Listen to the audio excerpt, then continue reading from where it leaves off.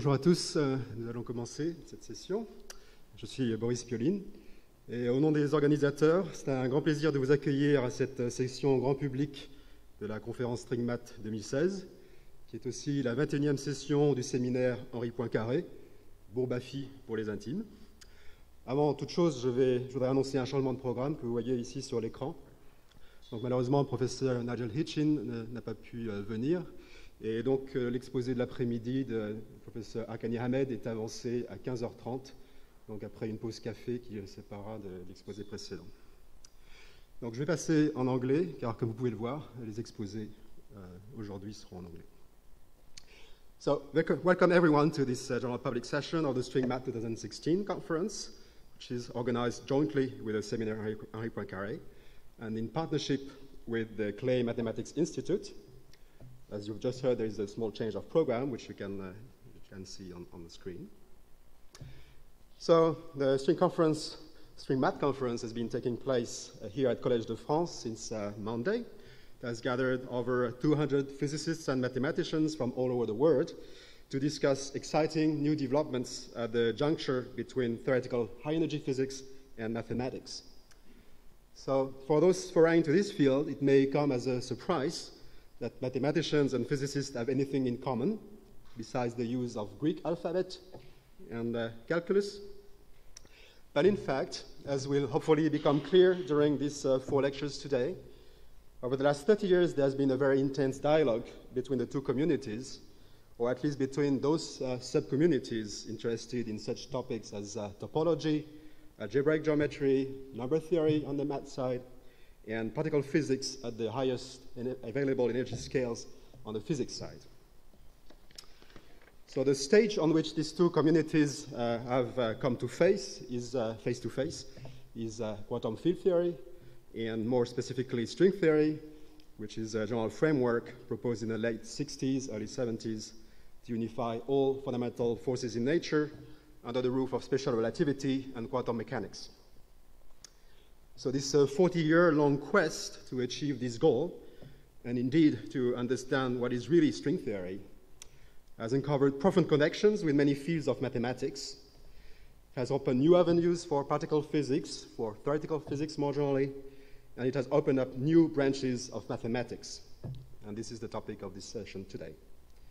Physics intuition has provided completely new points of view on objects that mathematicians thought they completely understood. And it has motivated many deep conjectures which they, mathematicians, have been able to prove using their own rigorous methods. So I will not say more about it because we will hear abundantly about it today through this session. And instead, I will uh, introduce our first speaker today, Professor Hirosi Ooguri from uh, California Institute of Technology in the US, Caltech, and also from the Kavli Institute for the Mathematics of the Universe in Japan, IPMU.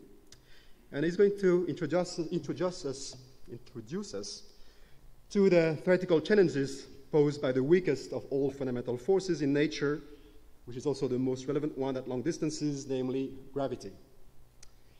So after uh, two years in the graduate school uh, at Kyoto University, Professor Ooguri became a tenured faculty member at the University of Tokyo before getting his PhD from the same uh, in 1989. In 1994, he was appointed professor at Caltech, uh, sorry, at uh, Berkeley, I'm sorry. and he stayed there until 2000, and uh, he became, at that time, a professor at Caltech. So currently, Professor Ooguri is the Fred Kavli Professor of Theoretical Physics and Mathematics and the director of the Walter Burke Institute for Theoretical Physics in Caltech, a newly created uh, institute.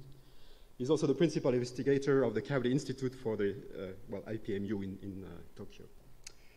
Professor Ooguri has received numerous awards and honors, including the Eisenbud Prize for Mathematics and Physics, uh, the Humboldt Research Award, the Nishina Memorial Prize. He's a member of the American Academy of Arts and Sciences, Simons Investigator, and the trustee of Aspen Center for Physics. And, but besides his outstanding involvement and engagement in research, Professor Ooguri is also very active in science outreach. Uh, his uh, four popular science books have been sold over a quarter million copies in Japan. His book, in String Theory, was selected for the 2014 Kodansha Prize for Science Books. He's a contributing writer for Asahi Shimbun, a leading national newspaper in Japan. And uh, well, most recently, he served as a science advisor to the 3D dome theater movie called The Man from Nine Dimensions, uh, which debuted in Tokyo this April. And I learned has just received the 2016 Best Educational Production Award from the International Planetarium Society.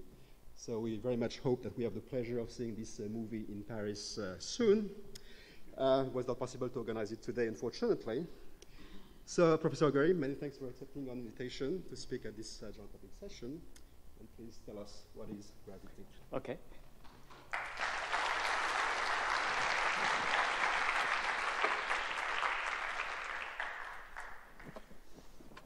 Okay. Uh, thank you, Boris, for your very kind uh, introduction, and uh, thank you all for coming uh, on, uh, on, this beautiful uh, Saturday morning in Paris to hear about gravity, monodromy, quantum geometry, and the end of space-time.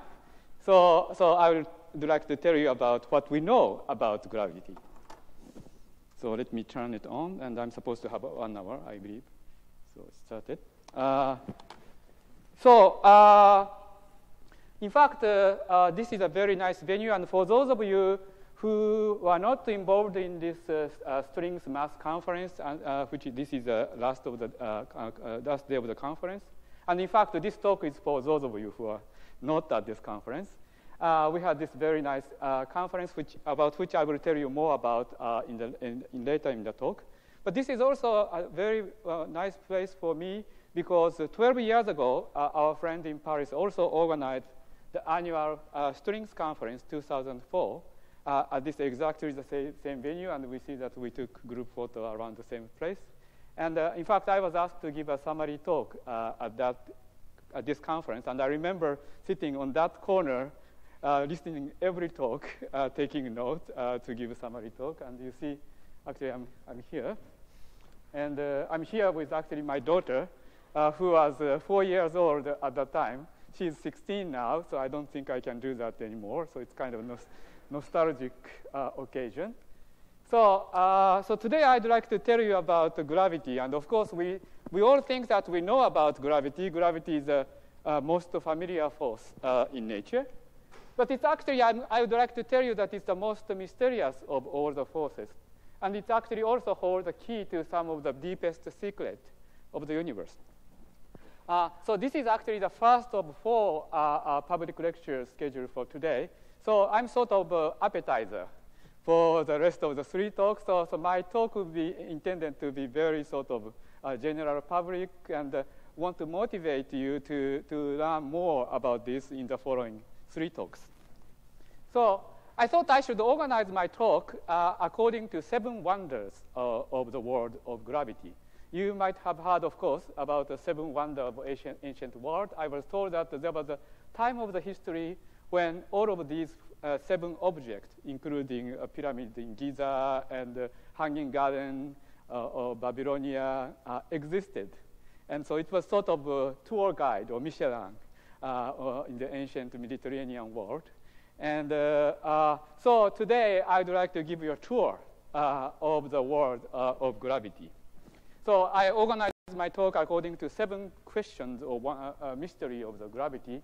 And the first mystery is actually the gravity is a force. And of course, these days we take it for granted, but it wasn't obvious for people in the ancient world. For example, Aristotle thought that uh, uh, the, gravity is actually not a force, but it's just a reflection of the tendency for object to go, try to go to the center of the Earth. That uh, all the elements, uh, all the um, objects are made of four uh, basic constituents, and we are mostly made of earthy objects which wants to go back uh, to the center of Earth, just like a bird which lays the nest in the morning want to come back uh, to the nest in the evening. And uh, it wasn't such an absurd idea because uh, these days, of course, we know that there are planets and other stars that attract and interact with each other by gravitational force. But of course, originally we only know the gravitational force in one direction, and it was more attractive to understand, try to understand it as a tendency uh, of the object try to go to the center of the Earth. And this kind of view lasted for 2,000 years. And uh, the change of the view, in order to change this kind of view, it's actually very important uh, to define the object or concept properly. So we have been doing this, uh, we have been having this conference of the interaction of physicists and mathematicians. And what mathematicians always tell us, physicists, is that it's very important to define things and to understand their concept exactly. So similarly, in the case of force, we need to actually define what the force is. And uh, that's one of the things uh, Newton did. What are the forces? And uh, so Newton defined the force as something that changed the motion. If there are no earth here, like this uh, ball, which is something that is happening this week in Paris, I understand, would just go uh, straight. But because of the gravitational attraction, it changed the shape of the trajectory. So that, according to his definition, is the existence of the force. So now we understand that there are actually four forces in nature. Gravitational force, electromagnetic force, those are understood uh, uh, uh 400 years ago. And in fact, the understanding of electromagnetic force uh, were earlier. But then uh, in the 20th century, we came to realize that there are actually two more forces in nature, strong force and weak force. Strong force attract quarks, which are constituent of uh, elementary particles such as protons uh, and neutrons are made of three quarks, and pions, which mediate force between these elementary particles, uh, consist of two quarks. And strong force attract quarks to each other and make those uh, particles. Weak force is responsible for radioactivity, sunshine, etc. And of course, we are in Paris, where the radioactivity was discovered by Becquerel and developed further by Marie Curie and many other chemists and physicists who are working in Paris. And so one of the realization uh, of, the, uh, uh, of the weak force uh, uh, that came with the uh, realization of the existence of weak force and strong force is that we have to enlarge the concept of force. So at the time of Newton, the force was understood as something which changed the trajectory of particle. But in the case of weak force, it also changed the type of particle. So you have to enlarge the concept of force as something which changes the condition or the state of the object.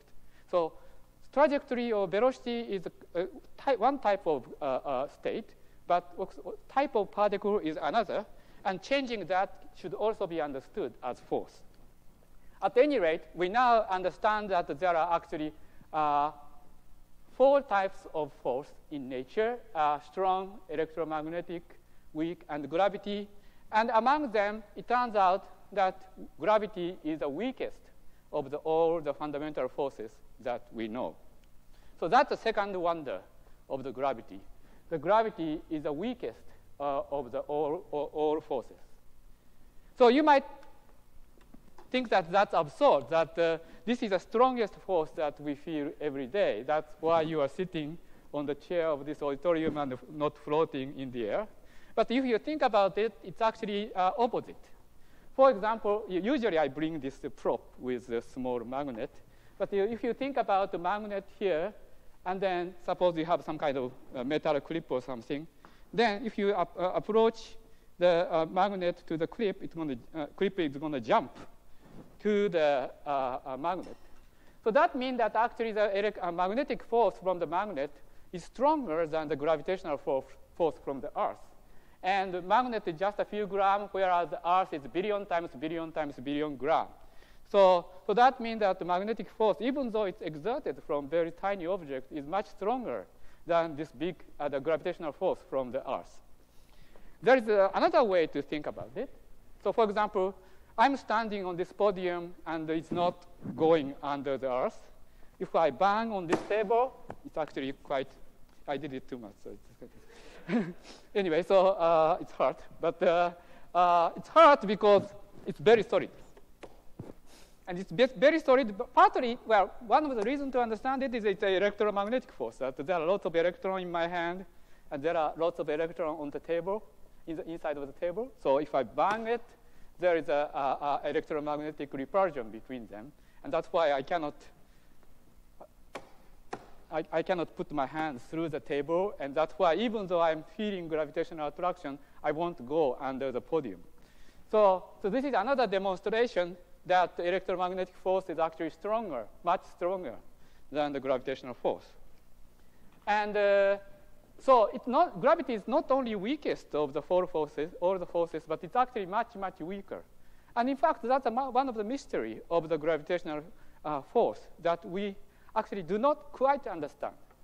So I'm going to actually tell you various mystery of the gravity today, some of which we understand and some of which we are actually still developing. And this is one of them, why gravity is so weak compared to other forces that uh, we know. The third mystery is actually you can turn off gravity.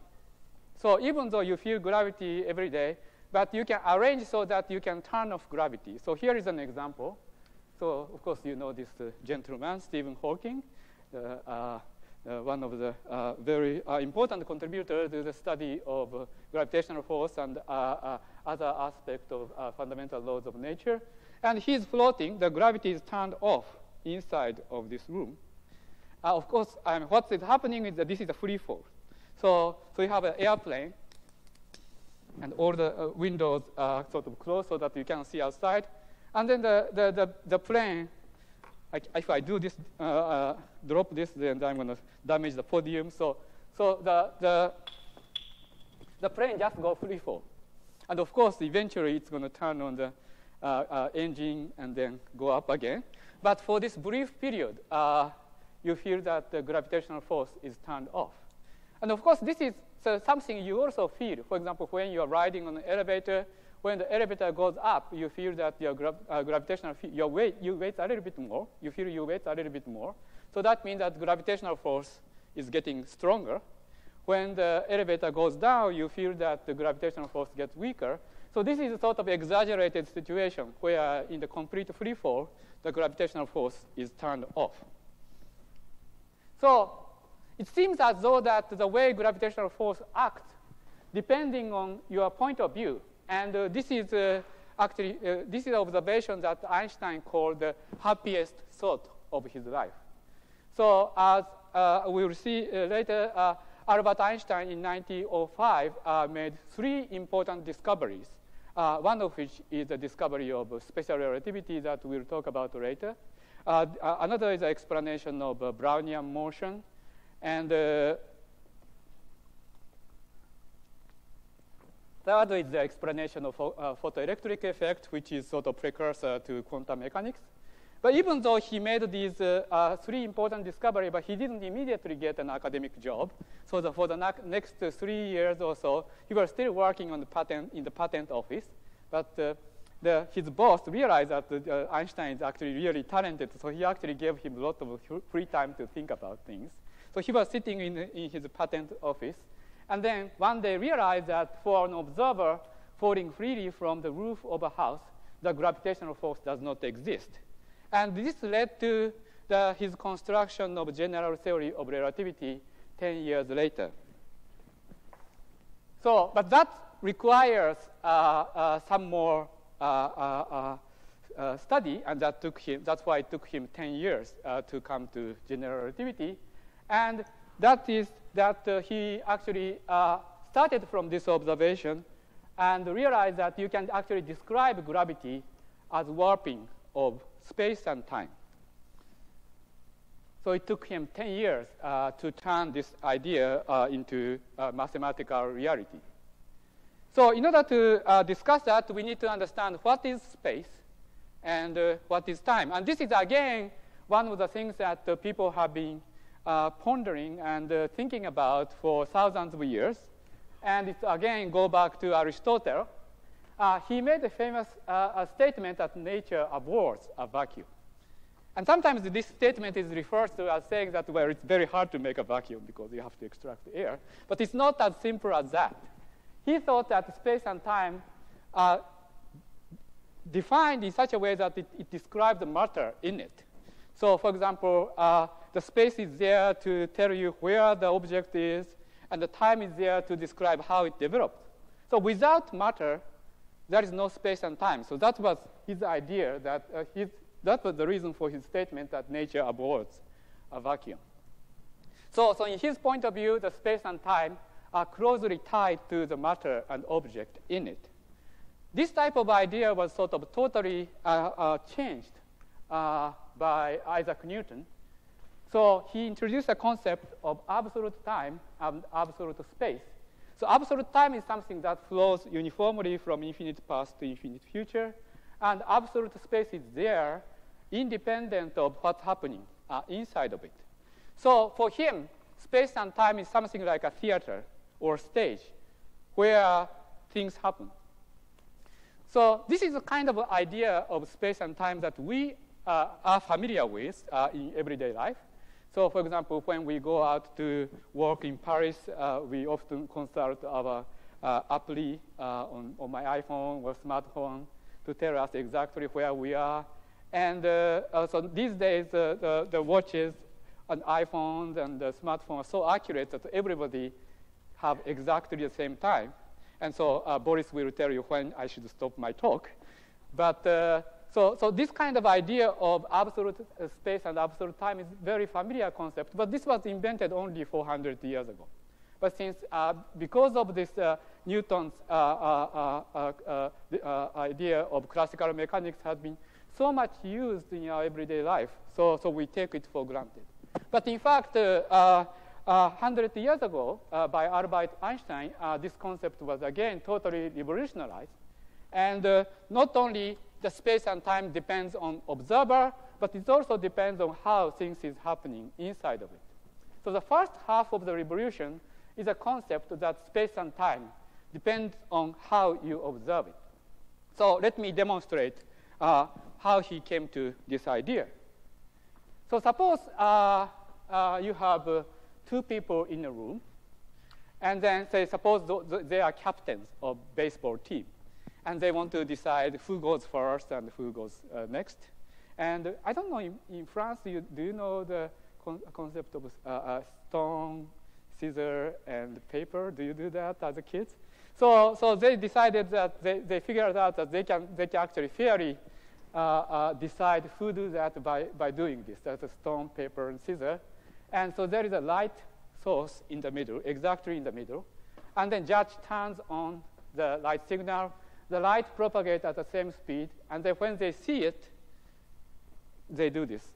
So for example, this captain has stone, then this captain has uh, paper. So he won.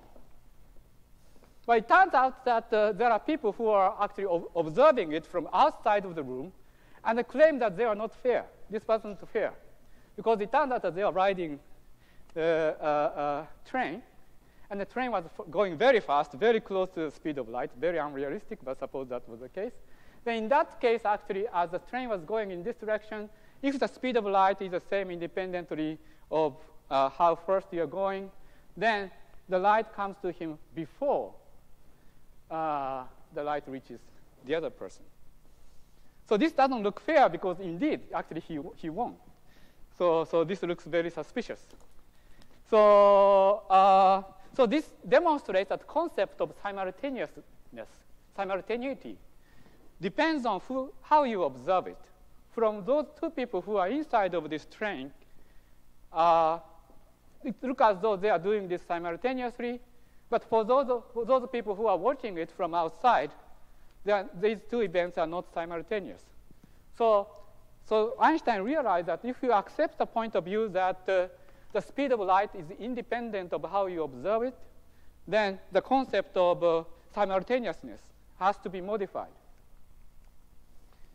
He even went further and said that actually if you have uh, taken into account the gravitational force, then the matter in it and energy in it also modify space and time. So this is sort of a caricature. Now it's kind of difficult. So this is supposed to be for general public. I saw there are some mathematicians, but I totally ignore them. And uh, uh, so I will try to explain how actually the modification of the uh, uh space and time changes, uh, give, give rise to effects uh, that mimic gravitational force. So it's kind of hard to explain that in our three-dimensional space. So let, us just postulate that we live in two spatial dimensions. So there is actually a very nice uh, novel uh, written in 19th century uh, Victorian uh, England called Flatland. So this is a story about people who are living in two-dimensional flat space.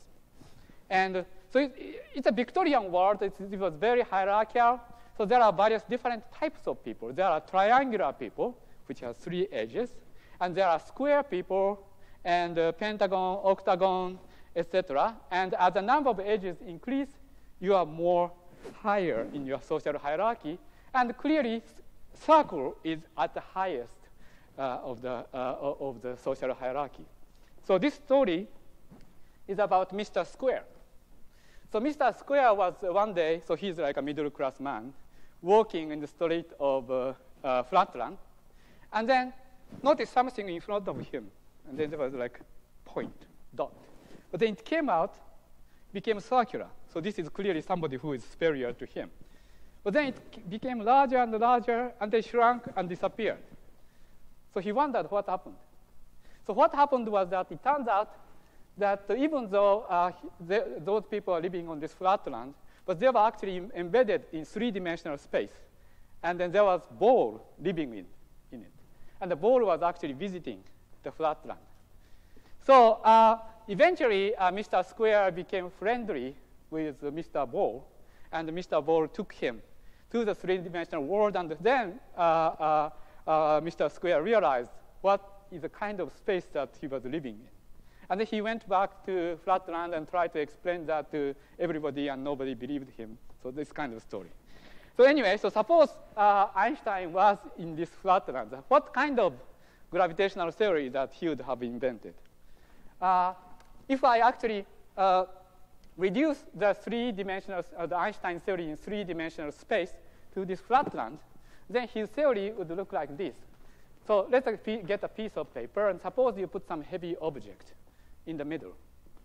What this object does to this two-dimensional world is that it creates what's called the deficit angle, which is the following concept. So if you have a point, and then if you go around the point, as uh, elementary school or junior high school uh, geometry tells you that uh, you, go, you are going around 2 pi, namely 360 degrees as you go around.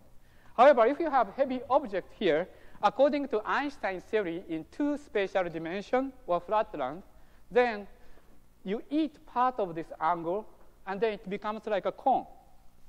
So now, as you go around here, so you ignore this point anymore, then it's less than 360. And so this is the deficit angle. It's deficit from 360. And the heavier the object, the bigger the deficit angle. So, so what happens is that if you have, say, for example, deficit angle here, and if you have two straight lines, so, so this, this object in flatland just try to go to straight line. However, since there is a deficit angle, so they actually converges.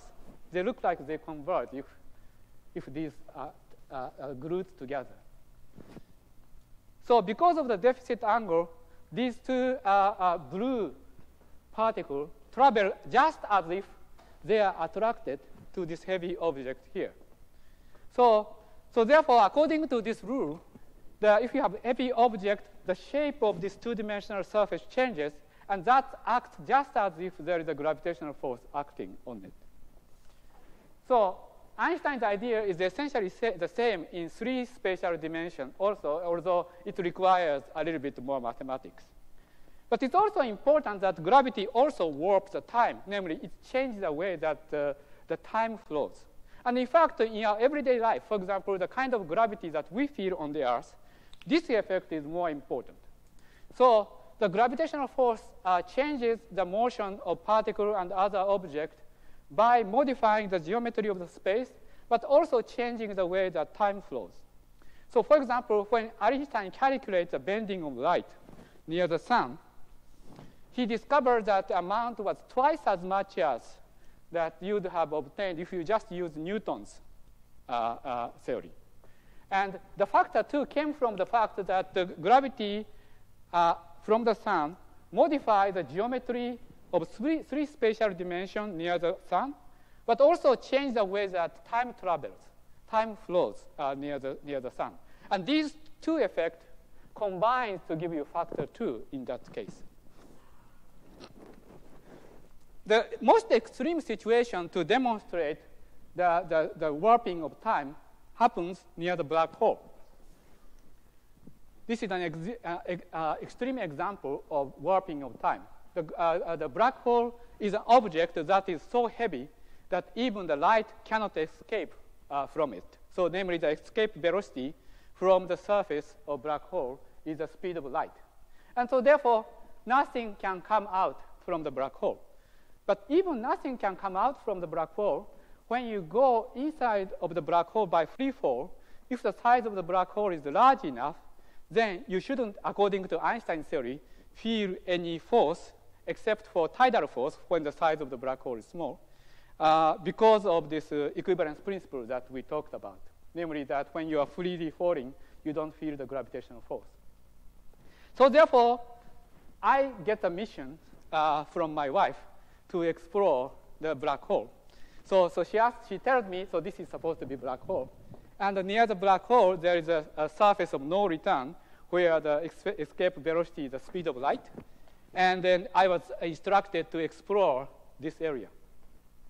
So I promised her that I'm going to send her email every day to report what's happening. So for the first few uh, uh, days, she gets uh, email from me every day.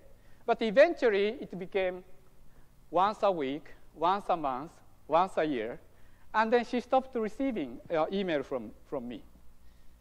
So, but that, that's not quite fair because I think I'm sending her email every day. But she doesn't think so, so she, looks at, she, she thinks that I'm actually procrastinating near the black hole, trying not to get inside of the black hole. Even though I'm sending email to her every day and in fact going inside of the horizon. So that is, this is an extreme case where, depending on observer, uh, how the time flows looks, looks how the time looks to flow uh, differently.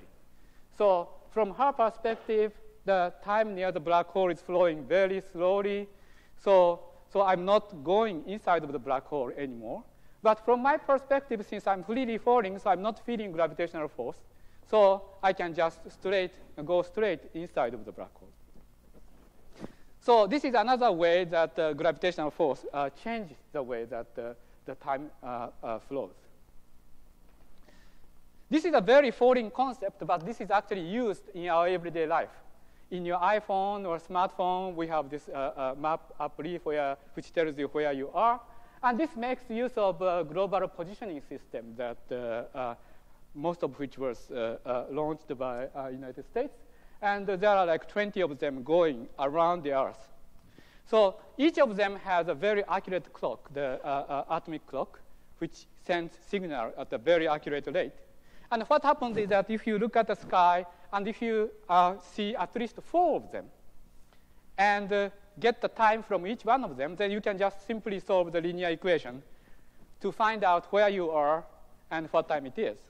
You need to see four satellites because you need to know your three spatial coordinates and one time. But in order, of course, uh, for you to be able to uh, understand where you are and what time it is, the clock has to be accurate. But since the, these uh, uh satellites are flying at a very high uh, uh, altitude, so that means that gravitational force is weaker. Gravitational force is weaker, so that means that time is actually clicking faster. At the same time, these satellites are moving very fast. So that means that there is a special relativity effect of clock is actually seen as if they are uh, clicking slower. So combining these effects, and please excuse the uh, unit of length that I'm using here. This, was, this slide was prepared for American audience.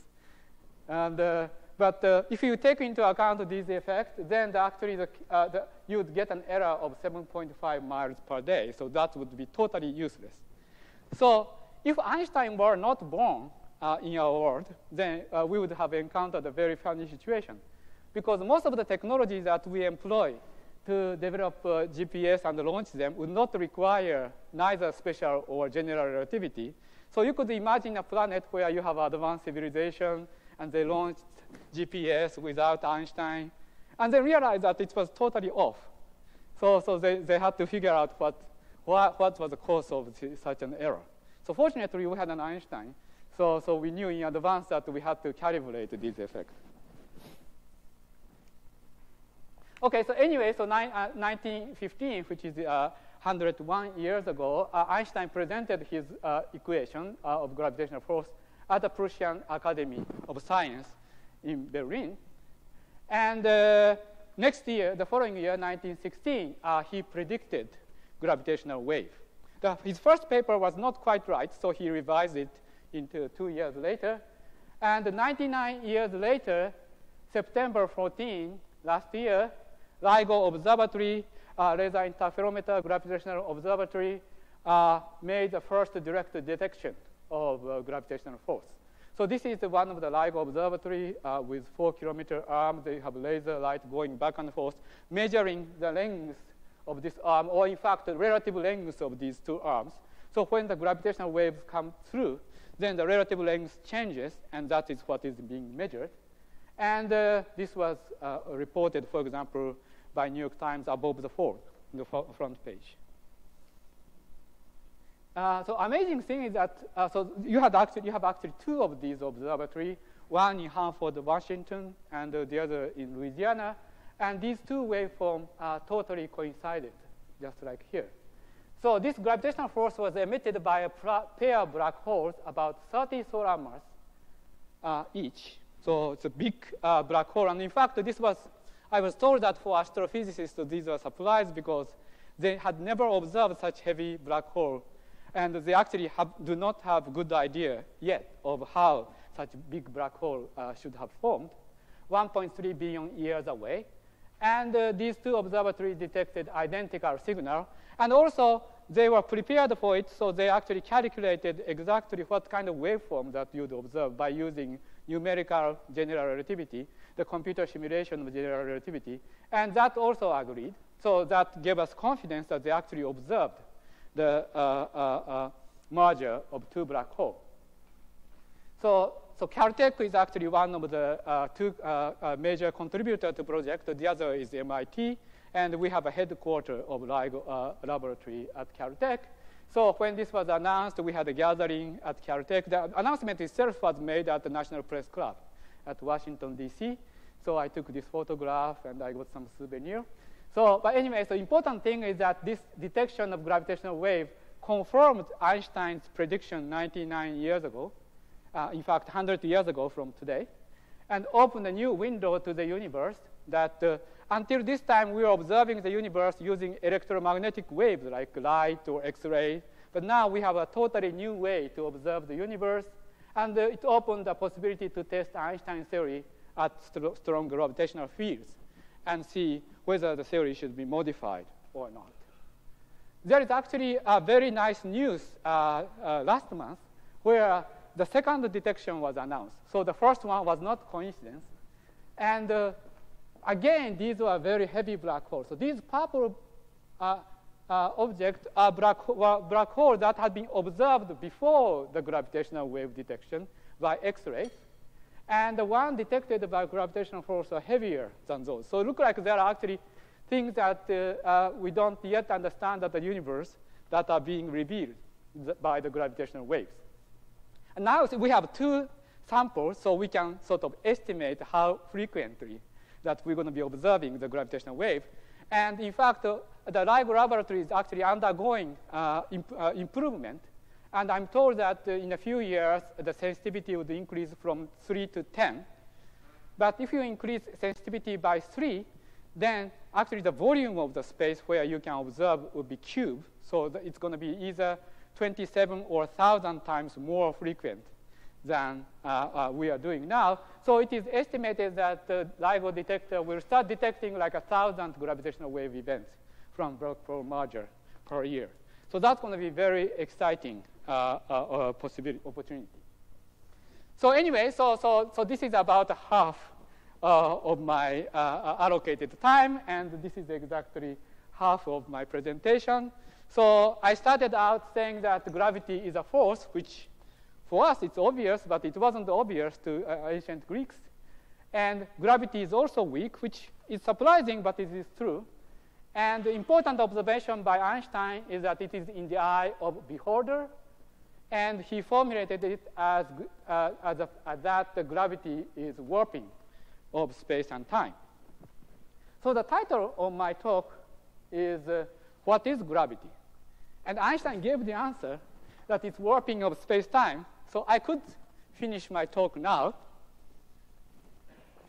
However, I still have 30, 30 minutes, so, so I should go on. And in fact, uh, it would have been a good answer, except that quantum mechanics, uh, uh unless, uh, except that we actually also discovered quantum mechanics. And that changed the whole thing. So in fact, gravity is very hard to marry with uh, quantum mechanics. So uh, four years ago, uh, 4th of July, which is uh, the day after tomorrow, the uh, CERN laboratory in Geneva announced the discovery of Higgs particle. So this is Mr. Uh, Professor uh, Peter Higgs.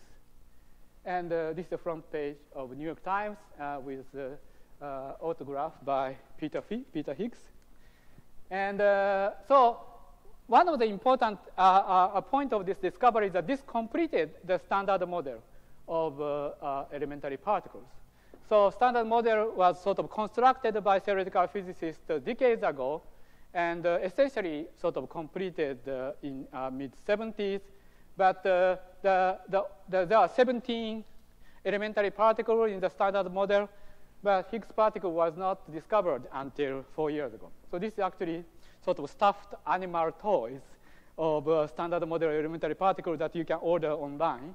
And th this was actually, I copied it uh, uh, uh Uh, uh, like uh, five years ago. So at that time, Higgs boson was not discovered, so this was sort of in the category of theoretical particle, and these were detected particle, but now it should belong to this category. So, so this is uh, uh this complete the sort of current standard model of elementary particle essentially describe all high energy physics phenomena that have been detected uh, uh, in the laboratory, except for mass of uh, neutrino, which require some slight modification to, to this table. However, this is not the end of the story, because in fact, if you go to this website, there are actually two theoretical particles listed in this category. One is Higgs boson, but the other is graviton, uh, which exchanges the gravitational force. So, so in, in this uh, table of elementary particle, you have photon, which exchanges the electromagnetic force, gluon, which exchanges the strong force, and W and Z boson, which exchanges weak force. So those are three of the four fundamental force. But the subject of this talk today is gravitational force. And particles that's supposed to communicate uh, gravitational force has not been discovered. And in fact, including that is a very difficult thing uh, uh, in the theory of elementary particles. Partly because, as I explained, the gravity is warping of space and time. But on the other hand, uh, things are intrinsically uncertain in quantum mechanics. In the classical world formulated by, for example, Isaac Newton's uh, classical mechanics, the future uh, is totally predicted. So for example, I throw this toward Boris, then if I do it very well, I'm going to hit him. And it's totally predictable. Whereas uh, in the quantum world, uh, it's not clear the, what exactly the trajectory of these objects are. But if you combine that with gravity, that means that space and time become uncertain. And uh, quantum mechanics and the uh, uh, the uh, uh, uh, standard model of elementary particle, for that matter, are formulated assuming that space and time exist, and then in it, the theory is formulated. And the fluctuating world of space and time, it's not clear how you can formulate such theory. So reconciling uh, quantum and gravity has been the holy grail of modern physics. It looks like in the Hollywood uh, these are also very important concepts that are sort of employed in the recent movies. But uh, combining them uh, uh has been sort of one of the very uh, important questions, unsolved questions in theoretical physics homework from the 20th century. And so far, the only consistent way we know how to do this is superstring theory. Superstring theory postulates that fundamental building block of matters are not point particles. So these are not elementary particles, but elementary strings. And the vibration and the configuration and the wave function of these strings uh, describe uh, the 17 uh, uh, elementary particles in standard model of particle physics, uh, as it is expected. So that is what is expected. And in fact, uh, one of the reasons we are, are so much fascinated by string theory is that the string theory actually seems to contain all the ingredients needed to build this table of standard model of particle physics, including uh, graviton. Moreover, string theory helped solve some of the deepest mystery of quantum gravity, such as the origin of Hawking radiance uh, from black hole, and led to new concept of space and time, such as holography. Uh, I imagine some of the speakers uh, uh today may uh, touch on it, so I don't have time to go uh, much deeper into it. So as Boris said, I have been working with a team of very talented visual creators in Tokyo for the last three years to make a three-dimensional movie on superstring theory, and I, I supervised, I was sort of a scientific supervisor uh, for this. Uh, the title of the movie called The Man from Nine Dimensions. I don't have time to explain where the nine come from. But uh, so I was very happy to report to you that uh, last week uh, this movie was selected as 2016 Best Educational Product Award from International Planetary Society. The competition was held in in Czech Republic, and the award ceremony was at the biannual biannual conference of International Planetarium Society in Warsaw, Poland, and from 16 six films sub submitted from 15 countries. So, uh, so I would like to actually show you a trailer of this movie, but I, I need to uh, sort of warn you, explain you actually what you are going to see. So the movie is for 30 minutes. I'm not going to show you 30 minutes. It's going to be like uh, uh two minutes. And uh, uh, so I have to, in 30 minutes, we have to explain quantum mechanics, standard model of particle physics, including Higgs effect, flavor changing uh, the uh, uh, neutrinos, and how the, and then, then we have to explain Einstein's theory of general relativity, the evolution of the universe, dark ages, inflation, Big Bang, and then try to explain why it is difficult to marry quantum mechanics and general relativity and how string theory solves all this. And the movie explains that in 30 minutes. So it's not so easy. So in order to actually sort of guide the audience through these uh, uh, ideas, uh, we came up with a metaphor. So the man from nine dimension is a metaphor of theory of everything. And uh, there is a, actually a group of three scientists who are chasing, who are chasing after this mysterious man from the nine dimension. So this is a metaphor of scientists uh, uh, trying to understand the fundamental laws of nature. And through that process, the man takes us to the microscopic world of elementary particles, and then going back the history of the universe and take us to the Big Bang, etc. So, so I'm going to show you the trailer, uh, but this actually trailer uh, focus on entertain entertainment aspect of the movie, not quite scientific aspect, but uh, the actual movie contains lots of scientific content. So I hope uh, there will be opportunity uh, for you to see the whole thing.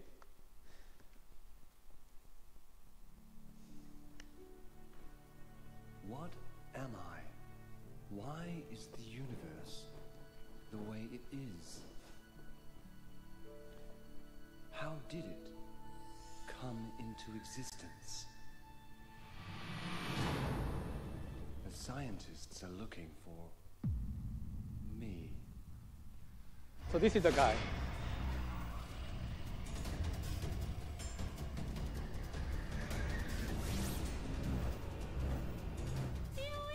Have we found TOE? Yes. Do you recognize manifold? Find him and we'll have solved all the mysteries of the physical world.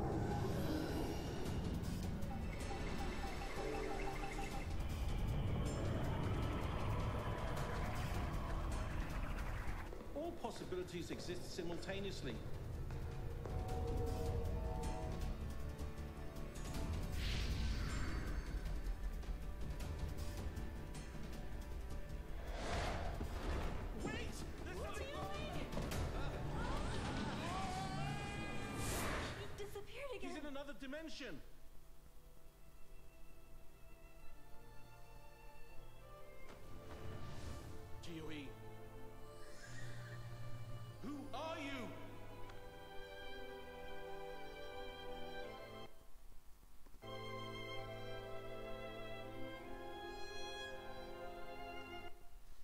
Okay, so that was the trailer.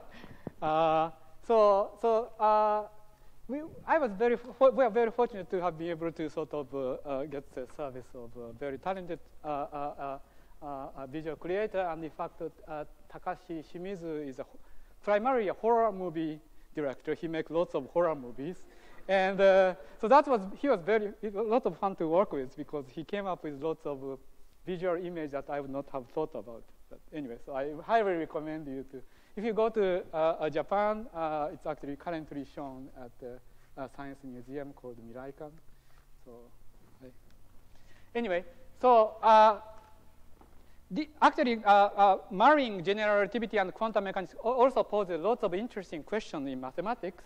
And so that is the reason for this string mass conference that we have been uh, enjoying uh, this week thanks to the uh, hospitality and organization by our friend in Paris. And it's partly because general relativity describes gravity in terms of warping of space and time, namely in terms of geometry, whereas quantum mechanics describes the microscopic world of elementary particles in terms of algebra. So the study of quantum gravity and string theory, therefore, is opening a new line of research in mathematics which connect geometry and algebra in unexpected way. So this is one of the reasons why uh, so this area has been so fruitful for both mathematicians because it poses interesting question, but for and also for physicists because techniques developed by mathematicians have been very uh, turned out to be very powerful.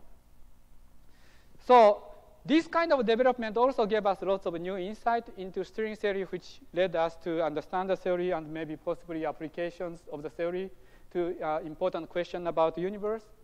And one of the important questions I want to pose is why is the sky dark at night? And this is actually closely related to the mystery of gravity. So this is, I included it as one of the seven wonders of, uh, uh, uh, uh of, the, of gravity. So why is the night sky dark? Well, you say, well, because the sun is on the other side of the Earth. That's one answer. But it's not as obvious that, as that.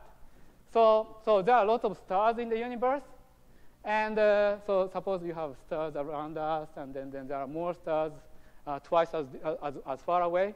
If you go twice as far as uh, us, then of course light from each star is uh, uh, uh, one-fourth, because the, the, the, the strength goes like 1 over, and decreases like a square of the distance. However, if we go twice as, twice as uh, twice the distance, then there are actually four times more stars. So that means that sum total of light coming from these uh, stars is actually the same as sum total of light coming from these stars. So if you go to twice as many, you get the same amount of light. If you go to three times away, you get the same amount of times. So if the universe is infinite, then you get infinite amount of light. So why is it that the, uh, the, the sky is dark at night? The sky should be infinitely bright. So this is called Olbers paradox. You can try to avoid this question by saying that well, there are dust in the, sky, in the universe, etc. But dust absorbs the light, but then store energy and re-emit the light, so it won't help you. So this actually, the correct answer to this question was interestingly pointed out by Edgar Allan Poe in uh, uh, one of his last uh, beautiful writing called Eureka. So let me read what he wrote. So were the succession of stars endless, then the background of the sky would present us a uniform luminosity like that displayed by the galaxy, since there could be absolutely no point in all that background at which would not exist a star. So this is exactly the formulation of the Olbers paradox uh, 20 years before. So he proposed a solution. The only mode, therefore, in which under such a state of affairs, we could comprehend the void which our telescope finds in innumerable directions would be by supposing that the distance of the invisible background so immense that no ray from it has yet been able to reach us at all. So this turned out to be a correct answer because uh, uh, 80 years later, uh, Edwin Hubble in Pasadena the, uh, over the Mount Wilson. Actually, from my office, I can see Mount, Mount Wilson Observatory. So when a visitor comes to my office, I can actually brag saying that this is where the people discover the expansion of the universe. But anyway, so he discovered the expansion of the universe by observing how the uh, galaxy at distance uh, uh, uh is receding from us.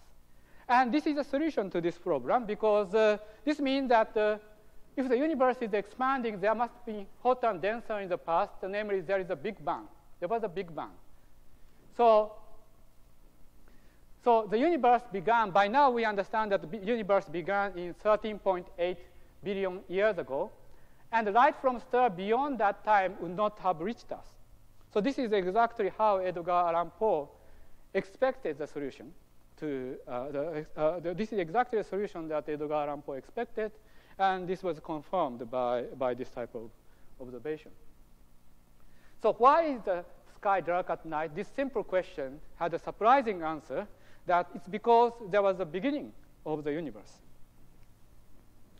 So in the next decade or so, uh, we'll have lots of exciting uh, experiment and observation that would significantly advance our understanding of the beginning of the universe, and uh, some of which may provide a way to test string theory too. So, so this will be very exciting. Maybe uh, some of the speakers will touch on that later. So the final wonder that uh, I would like to pose is why gravity is just so. So as I said, the universe was born 13.8 billion years ago, and very slowly developed to uh, our current stage. It took, us, it took a while. And that was very fortunate for us because it gave us a home, this beautiful Earth. Uh, and uh, it gave us long time, uh, 1.3 billion years to evolve from microbe to Homo sapiens, intellectual enough to ask questions such as, what is gravity? So why is the universe was sort of stable and were able to accommodate us for such a long time? One reason is actually the, is gra because gravity is weak. Because gravity were stronger, most stars would have collapsed into black hole, so there would be no, no Earth, no civilization. If the gravity were weaker, then star and planet would not have formed at all. So there would be just dust floating uh, in, the, in, in the universe. So in either case, uh, it would not have been possible for uh, somebody to come up with a question of what is gravity. So the question is why the gravity is just weak but not too weak so that we can have stars and uh, planets and things like that. So one possible explanation is anthropic principle. It is just so because we exist. This is sort of uh, a funny uh, way to formulate the answer, but in certain cases, actually, it gives a correct answer. The famous example where anthropic principle gives the correct explanation is the distance between the sun and Earth. This is one of the uh, very interesting questions that puzzled, again, people from uh, ancient times. That, for example, ancient Greek were able to measure the distance between the Earth and Moon, and rather accurately, and then with some large error, we're also able to measure the distance from the uh, uh, Earth to the sun. And uh, if, you, if you know how to do it, then the next thing is to try to explain it. And so there are lots of, lots of theories to try to deduce the distance between stars and uh, sun and planet and the Earth uh, from fundamental laws of nature. And in fact, uh, Johannes Kepler had also the theory. So, so in one of his early books, uh, he speculated that the six planets, so those days there are six planets known, have orbit of six spheres inscribing and circumscribing five platonic solids appropriately ordered. And he thought that this suggests a good uh, geometric plan for the universe. So this is actually Kepler's model of a planet. So he tried to deduce that from fundamental principle like beautiful mathematics. Okay. uh, Yes. But of course, uh, what happens is that after that, he uh, got access to uh, uh observation da data by Tycho Brahe and realized that this is not quite accurate, and then they reconsidered and then came up with the elliptic uh, orbit model of planets. So nowadays, uh, we know that it's not possible to derive distance from the sun to Earth based on fundamental principle because we know that there are many stars in the universe, and um, by now, thanks to actually the uh, uh, Kepler telescope, that uh, many of them, large fraction of them, have planets. And some are very far away from their host star, some are very close to uh, the host star, and those are not hospitable to life. But some of them are just so that uh, uh, they can accommodate life, and some of them can even accommodate advanced civilization. So our current understanding is that the distance between Sun and Earth is not determined by fundamental laws of nature, but is environmental. That it is decided, determined just from many samples of planet, just the one which accommodate life and intellectual life. So this is exactly what the anthropic principle tells us. So the question that uh, one may pose is that uh, do we have to employ anthropic principle to explain other features of fundamental laws of, uh, of, nature? Should we give up deriving them from basic principle? Well, I don't know. This is something being discussed, and it is my hope that some of the features of fundamental laws of nature can be derived from fundamental principle, and this is one of the re reasons that drive us to, to this type of question of what is gravity. So let me summarize the seven wonders of gravity. The gravity is a force. Gravity is weak. Gravity is in the eyes of the beholder. And it is described by warping of space and time. And this could have been a good answer to the question of what is gravity. But it turns out that the microscopic world uh, has quantum mechanical feature, and it has been very hard to marry quantum mechanics with uh, gravity. And this is work in progress, and this is something that we have been discussing at this conference too. And one of the questions that we may be able to address is uh, why the sky is dark at night, which is leading to the question of the Big Bang of the universe, and also why is gravity so weak, but not too weak. So, so, so we, are, we are investigating getting this question, and we are meeting every year at Strings Conference, String Math Conference, to exchange ideas. And we are very happy to be able to host both String Math Conference and the Strings Conference in 2018 in Japan. So uh, I'd like to warmly welcome uh, all uh, uh theoretical physicists and mathematicians interested in this area to this conference. So in 2018, in June, in the third week of June, we'll have a String Math Conference in Tohoku University, which is just a 90 minutes train ride from the center of Tokyo, so it's very convenient. Next week, uh, in the following week, the last week of June, we'll have Strings Conference in tropical island of Okinawa, which is about two-hour flight from Tokyo.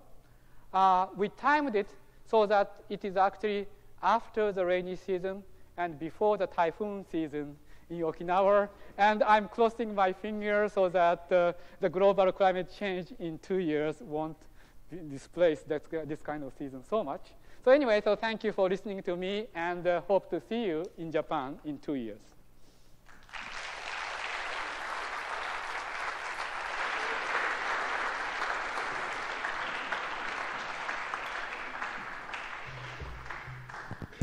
Okay, thank you very much, Hirosi, for the beautiful lecture. So this, uh, this is a general public session. We have time for questions. Uh, we would primarily like to have questions from the general public, if possible. so don't be shy uh, in asking uh, your deep uh, questions about uh, fundamental, fundamental questions. We can take them in French as well. And, yeah, uh, so, so, so Boris can translate, I can translate the question in French I'm, to me. I may so, not be able to so translate French the questions are encouraged. Japanese question too. okay, let's take a question. Actually, there are many, many other Chinese questions possible. People uh, can translate. You, you, you raise your hand? Uh, it was me, so. No, no, uh, but I guess we right, We'll take this question first, and then we, we have uh, over here. Yeah, so okay, I have you can a, take your question. I have a naive question. So the detection of these gravitational waves what kind of effect does it have on mathematics of string theory, especially enumerative geometries? Say it again. The detection of gravitational waves. I would like to know, does it have any, does it kind of tell us that we need to do some new things in Well, it depends on the source of gravitational wave. So the one that uh, LIGO is detecting, uh, uh, LIGO observatories are detecting, are from uh, astrophysical black hole. So the basically, the, the question is the wavelength. So uh, uh, in this case, the source is, is pretty big. It's a big, big black hole. And uh, the gravitational field near this black hole is pretty strong, but not strong enough uh, uh, to be sensitive to possible modification by string theory or other quantum gravity effect. Uh, but this is still already very interesting because uh, they were able to accurately uh, measure the strong effect of strong gravitational field. So for example, uh, the, the first detection by LIGO has already put the most strict upper bound on mass of graviton. So the mass of graviton has been measured by various sources, but this one puts the strongest upper bounds to date uh, on the on the mass of gra graviton in the general theory of relativity, if you naively quantize it, supposed to be massless. So if, if graviton has mass, it would be a strong modification. So this one gave a strongest upper bound for it.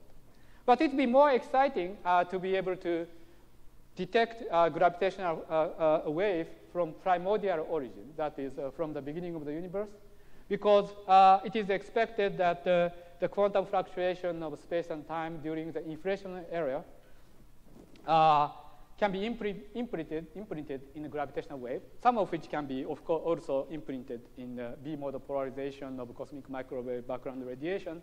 And those would be very sensitive, potentially, uh, to specific models of uh, inflation, and, uh, and then that can put constraint on inflation model.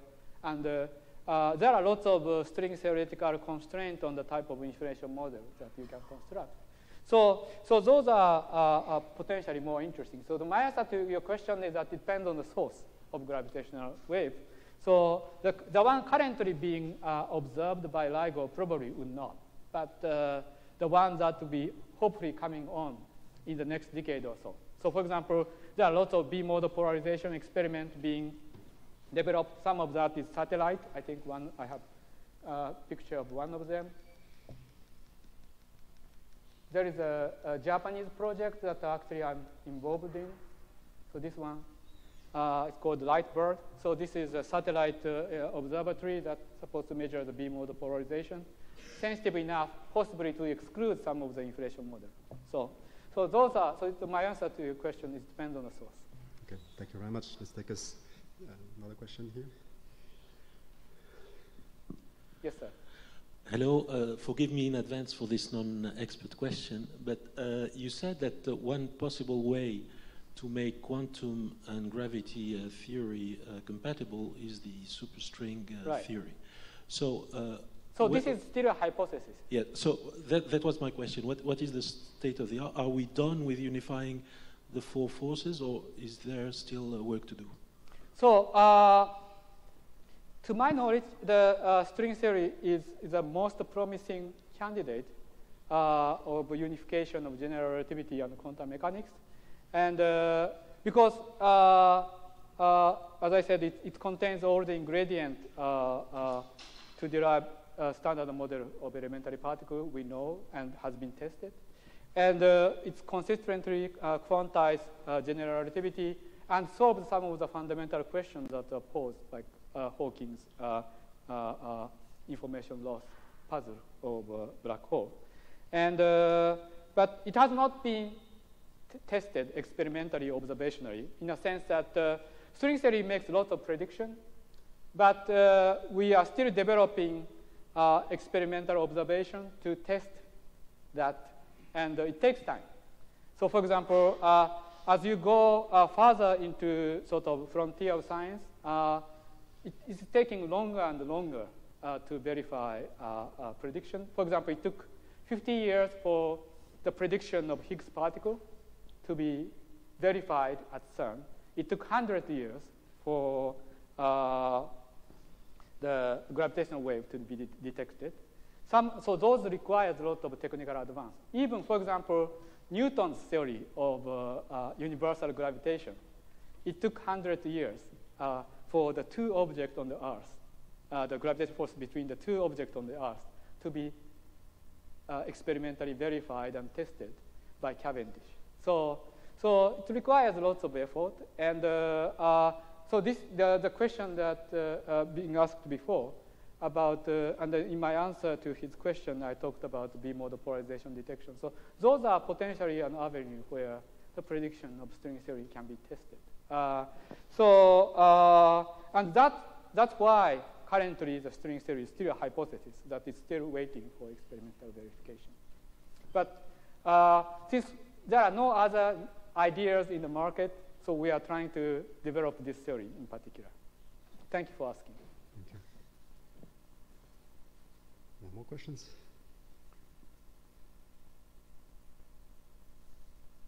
Again, don't be shy.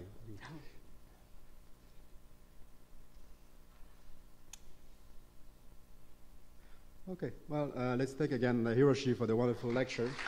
Thank you.